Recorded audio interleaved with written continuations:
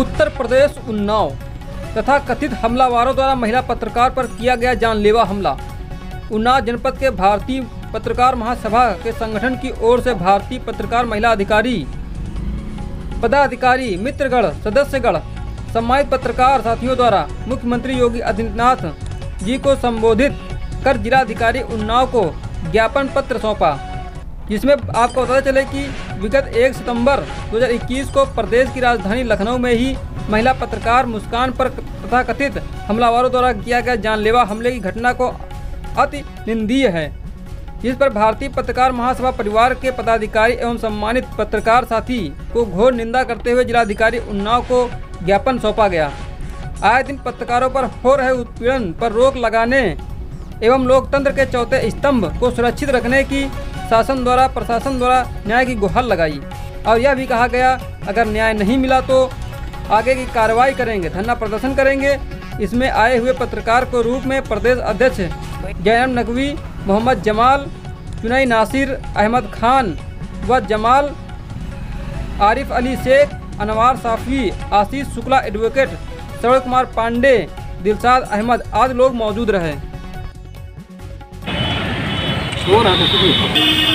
आज आप भारतीय पत्रकार महासभा संगठन से सभी पदाधिकारी लोग आज ये जिला जिलाधिकारी के यहाँ आए हैं। तो किस विषय में आए हैं? क्या मीटर है आपका? अक्सर देखा जाता है कि पत्रकारों के ऊपर गलत इल्ज़ाम लगा करके मुकदमे लगाना या उनको पीड़ित करना प्रशासन द्वारा पीड़ित किया जाता है या जो पुलिस द्वारा पीड़ित किया जाता है। अक्सर मुकदमों के जाल में हम पत्रकार पत्रकारों को झोंका गया है। लेकिन ये बात गलत है। इसी कड़ी में लेकर के हम मुस्कान जी की बात करेंगे लखनऊ पर, जिन पर चाकू मारकर जानलेवा हमला किया गया। और उन अपराधियों को अभी तक कोई गिरफ्तारी उनकी नहीं, ना उनके ऊपर कोई कार्रवाई हुई है। यहाँ पर सारे संगठन, भारतीय पत्रकार महासभा के संगठन के लोग यहाँ डीएम के आए हैं ज्ञापन देने के लिए और अपनी बात को मुख्यमंत्री तक पहुँचाने के लिए। भारतीय पत्रकार महासभा के जिला अध्यक्ष हैं आप चुनई जी।